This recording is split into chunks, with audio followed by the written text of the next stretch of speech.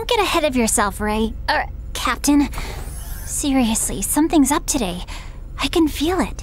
Six years after Star Ocean, Integrity, and Faithlessness disappointed fans of the sci fi JRPG series, Star Ocean The Divine Force feels like a long awaited return to form in many ways. Its revamped combat is a lot of fun, breathing fresh life into a system that certainly benefits by evolving with the times a bit. Other areas do stagnate, unfortunately, like its lackluster visuals and horrid user interface. But a respectable story full of likable characters makes this a sequel that's still fun to have sailed through the stars of.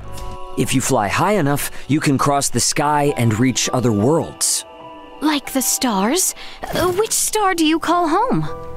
The Divine Force is a standalone story that follows a reasonable young space merchant with a really bad haircut named Ray, who crash lands on the underdeveloped medieval like planet of Aster 4. There, he meets Leticia, the prim and proper princess of the kingdom of Aucerius, and agrees to assist her in fending off a nearby empire in return for help finding his missing crewmates. It's entertaining that the story kicks off at a smaller scale than you might expect from a spacefaring adventure, but things only grow impressively from there as conflicts on this backwater planet end up having astronomical consequences. One cool twist is that you're actually given the choice between following Ray or Leticia as your main character. You'll be able to follow the overall story just fine either way, but there are a handful of instances where they split up and you only see what happens with the side you picked. For example, if you pick Ray's path, at one point there is talk about an arranged marriage between two nations that you'll have no context for. However, if you pick Leticia instead, you may understand that conversation, but potentially miss something else. It's an interesting storytelling mechanic that encourages you to go for a second playthrough of the roughly 30 to 40 hour campaign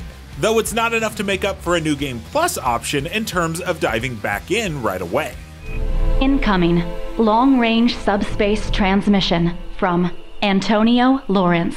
The Divine Force's cast of characters is a lively bunch that consists of both Aster 4 locals and people from off planet. The dynamic between your main party is especially fascinating because half of them come from a civilization that hasn't even discovered the concept of gravity yet, while the other half is casually familiar with warp drive engines that allow spaceships to travel light years. That results in plenty of entertaining and unexpected moments, like when Ray's robotic but surprisingly caring first commander, Elena, has to teach her comrades about the concept of bacteria. You can also learn more about each character through private actions, which are cute cutscene moments that you trigger by talking to your party members while they are scattered around the world's various towns. Private actions show off a lot of character's personalities and quirks, giving them opportunities to talk about more than just the events of the main story. The issue with private actions, however, is that they're very annoying to find. Just like in past games, private actions are pretty well hidden and you have to go out of your way to sniff them out, with no icons or indications to tell you when a new one has popped. It sucks to waste so much time fast traveling to other towns, running around them, and talking to all of your party members in the hopes of triggering a private action. It's also disappointing that 3D character animations and faces don't live up to the otherwise lovely environment you find them in. Characters have this doll-like porcelain look to their expressions that always come off a little unintentional unintentionally creepy.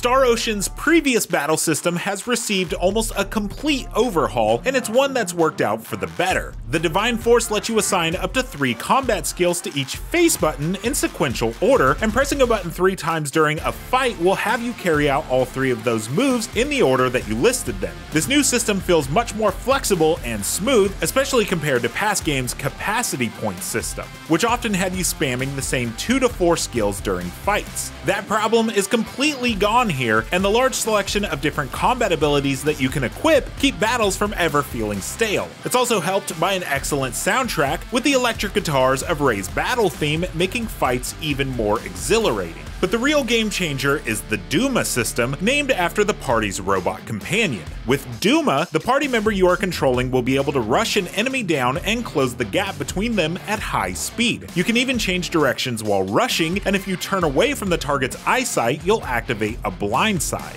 Blind sides are as powerful as they are fun, momentarily paralyzing enemies and allowing your entire party to wail on them. And while Duma adds a ton of adrenaline and momentum to combat, it can also be used defensively. For example, you can exchange your ability to rush to instead allow Duma to reduce the amount of damage your party takes. Being able to switch between modes on the fly like this makes battles more dynamic and exciting.